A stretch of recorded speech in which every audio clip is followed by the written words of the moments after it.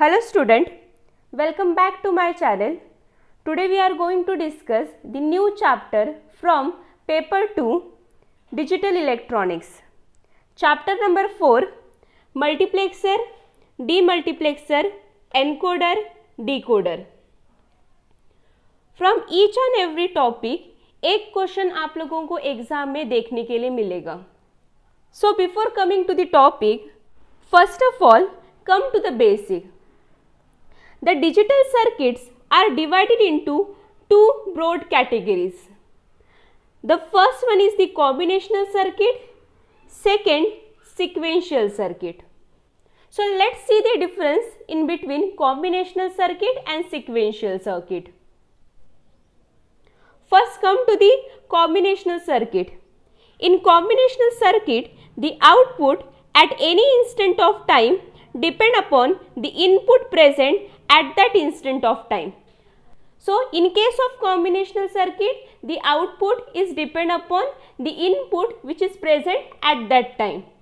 Sequential circuit में क्या है वो देखते हैं In sequential circuit, the output at any instant of time depend upon the present input as well as the past output.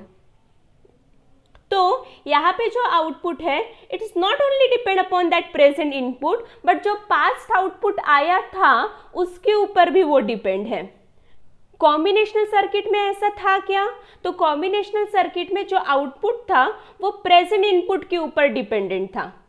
But sequential circuit में present input के ऊपर dependent है ही बट पास्ट आउटपुट के ऊपर भी नेक्स्ट आउटपुट डिपेंडेंट है।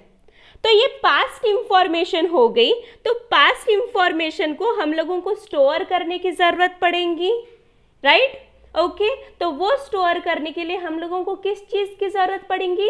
So there is a requirement of memory okay कोई भी आप लोगों को ऐसा डिवाइस यूज़ करना पड़ेगा जो उस इंफॉर्मेशन को स्टोर करके रखे और जब हम लोगों की ज़रूरत हो, तब हम लोग उसको यूज़ कर पाए।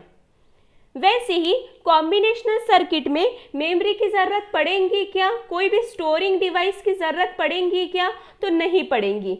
क्यों नहीं पड़ेगी क्योंकि यहाँ पे जो आउटपुट है, वो पास्ट इंफॉर्मेशन के ऊपर डिपेंड नहीं है। जो भी प्रेजेंट है, उसके ऊपर ही डिपेंड है। बट सिक्वेंशियल सर्किट में जो भी आउटपुट है, वो प्रेजेंट इंफॉर्मेशन के ऊपर तो डिपेंड है ही। साथ में को किसके ऊपर डिपेंड है? पास्ट इंफॉर्मेशन के ऊपर डिपेंड है। और पास्ट इंफॉर्मेशन को स्टोर करने के लिए हम लोगों को कोई डिवाइस की ज़रूरत पड़ेगी। और उसको हम लोग क्या बोलते हैं बच्चों? तो मेमरी बोलते हैं। So in case of combinational circuit, there is a no requirement of memory, but in case of sequential circuit, there is a requirement of memory to stores the past information. Clear hai? So we discuss in case of combinational circuit, the output is depend upon the present input. That's it. Okay. But in case of sequential circuit, the output is not depend upon the present input but also depend upon the past output. With the help of this memory, we stores the past information and given to the input to the sequential circuit. Clear है? अभी हम लोग example के तरफ़ आते हैं तो examples are mux demux encoder decoder are come under a category of combinational circuit तो ये तो हम लोग पढ़ने के हैं। तो जो एग्ज़ाम्पल हम लोगों ने पढ़ा है, वो मैं आप लोगों को बताती हूँ। Half adder in short it is denoted by H A H A stand for half adder in case of digital circuit okay तो हाफ़ एडर में आप लोग ज़ीरो ज़ीरो दे रहे हो तो आउटपुट आप लोगों का अलग आता है। ज़ीरो वन दे रहे हो तो आउटपुट अलग आता है। तो वो पास्ट इंफॉर्मेशन के ऊपर डिपेंड रहता है कि half adder half adder is not depend upon the past information suppose मैंने सपोज़ इन दिस केस कौन सा कॉम्बिनेशनल सर्किट है? तो आप लोगों का सर्किट है हाफ़ एडर तो हाफ़ एडर में आप लोगों ने इनपुट दिया ज़ीरो ज़ीरो तो सम क्या आता है बच्चों? ज़ीरो और कैरी क्या आता है? तो ज़ीरो राइट सपोज़ मैंने ज़ीरो वन दिया तो अभी आप लोगों का चेंज होता है सम चेंज होता है वन और कैरी क्या रहता है? तो ज़ीरो तो अभी हम लोगों ने पास्ट इंफॉर्मेशन को यूज़ किया क्या?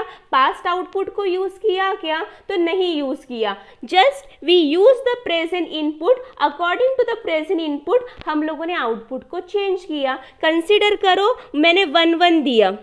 वन वन दिया तो सम क्या होता है बच्चों? सम होता है ज़ीरो, कैरी क्या होता है वन। तो अभी जो पास्ट आउटपुट था, वो क्या था? सम वन था, कैरी ज़ीरो था। अभी सम ज़ीरो हुआ, कैरी क्या हुआ? वन हुआ है। तो पास्ट इंफॉर्मेशन का यूज़ हुआ है क्या हाफ़ एडर में? तो पास्ट इंफॉर्मेशन को हम लोगों ने यूज़ नहीं किया है। तो हाफ़ एडर क्या हुआ? तो half adder is come under category of combinational circuit because it depend upon the present input clear okay okay, उसी तरीके से मक्स डीमक्स एनकोडर डीकोडर ये भी क्या है? तो कॉम्बिनेशनल सर्किट है। अभी सिक्वेंशियल सर्किट के तरफ़ आते हैं। तो सिक्वेंशियल सर्किट में हमारा है counter flip flop register okay ये कैसे सर्किट है? तो सिक्वेंशियल सर्किट है। मतलब ये आप लोगों के प्रेजेंट इंफॉर्मेशन के ऊपर डिपेंड है ही, साथ में पास्ट इंफॉर्मेशन के ऊपर भी डिपेंड है। तो काउंटर आप लोगों ने बचपन से देखा है तो आप लोगों को पता है काउंटर के बारे में। काउंटर क्या करता है? तो काउंट करता है। अप काउंटर भी रह सकता है डाउन काउंटर भी रह सकता है। मतलब असेंडिंग ऑर्डर में भी काउंट कर सकता है डिसेंडिंग ऑर्डर में भी काउंट कर सकता है। तो let's go with the up counter अब काउंटर मतलब zero one two three four and so on ऐसे काउंट करेगा वो। तो इनिशियली काउंटर में मैं कंसिडर करती हूँ कि इनिशियली काउंटर में स्टोर है ज़ीरो ओके तो अभी नेक्स्ट क्या काउंट होगा? तो नेक्स्ट काउंट होगा ज़ीरो प्लस वन क्या आया? वन ओके तो अभी नेक्स्ट क्या काउंट होगा? वन प्लस वन क्या आया? टू नेक्स्ट क्या काउंट होगा बच्चों? नेक्स्ट देखो क्या काउंट होगा?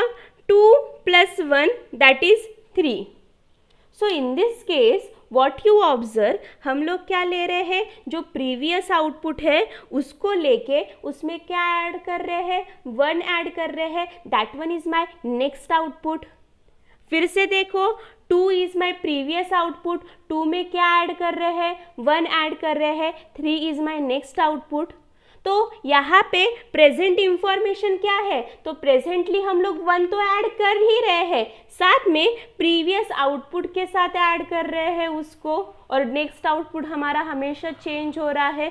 तो इस केस में हम लोगों को प्रीवियस आउटपुट को हमेशा स्टोर करके उसमें वन ऐड करने की ज़रूरत है। तभी वो अप काउंट करेगा। तो जो काउंटर है, वो किसका एग्ज़ाम्पल है? तो it is the come under a category of sequential circuit तो hope so you guys are clear with the combinational circuit and sequential circuit अभी एक चीज़ फिर से ध्यान दो। कॉम्बिनेशनल सर्किट क्या है? तो combinational circuit is just depend upon the present input right okay suppose मैं यहाँ पे सिक्वेंशियल सर्किट में इसको हटा दे रही हूँ। सपोज़ यहाँ पे मेमोरी प्रेजेंट ही नहीं है। मेमोरी प्रेजेंट नहीं है तो आप लोगों का जो सिक्वेंशियल सर्किट है, वो किसके जैसे दिखेगा? तो कॉम्बिनेशनल सर्किट के जैसे दिखेगा। तो यू कैन से दैट कि जो कॉम्बिनेशनल सर्किट है, वो सब सिस्टम है सिक्वेंशियल सर्किट का। Okay okay? क्योंकि सपोज़ ये मेमोरी यहाँ पे नहीं रहेगी तो आप लोगों का जो सिक्वेंशियल सर्किट है, वो किसके जैसे रहेगा बच्चों? It's look like a combinational circuit okay तो आप लोग बोल सकते हो कि जो कॉम्बिनेशनल सर्किट है, वो किसका सब सिस्टम है? तो सिक्वेंशियल सर्किट का। क्लियर है? तो दो तरीके के हम लोगों ने डिजिटल सर्किट पढ़े हैं कॉम्बिनेशनल सर्किट और sequential circuit hope so you guys are clear with the concept of both the type of circuit आगे की वीडियो लेक्चर में हम लोग mux demux encoder decoder discuss करने वाले हैं। और एक चीज़ ध्यान रखो, हर एक टॉपिक में से मतलब mux demux encoder decoder में से आप लोगों को एक क्वेश्चन एग्ज़ाम में हमेशा देखने के लिए मिलेगा।